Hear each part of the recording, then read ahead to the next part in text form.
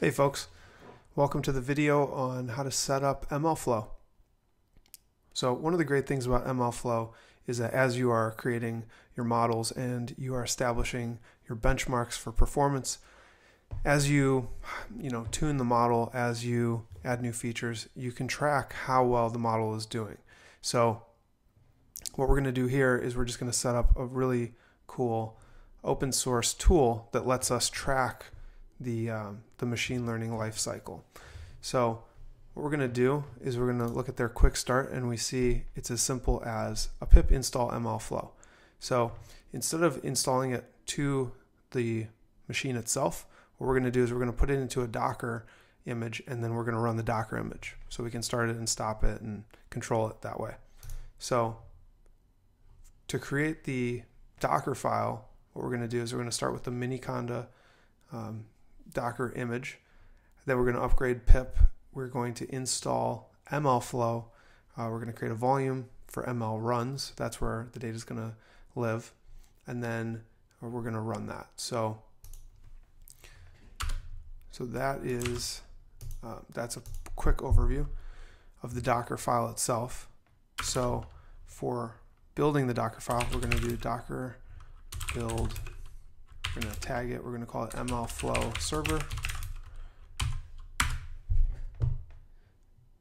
All right, now that that's built, we're going to have a um, bash command that's going to run MLflow. So we're going to do sudo docker run detached for the dash d. We're going to put the ML runs folder on the local machine as the volume mounted into the Docker image. We're going to open up port 5000. We're going to give it our AWS access key so that it can store some of the data on S3. One of the nice things about MLflow is you can store images, you can store the model itself, you can store kind of anything you want as an artifact on S3. You can do, and then we're going to do MLflow server. That is our Docker uh, image name. Then we're going to run the command MLflow server and we're going to pass in the default artifact root. Um, this is whatever it would be for you. And then we're going to store our, our files in ML runs.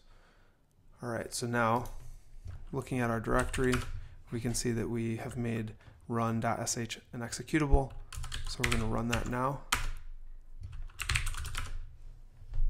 And uh, MLflow is now running.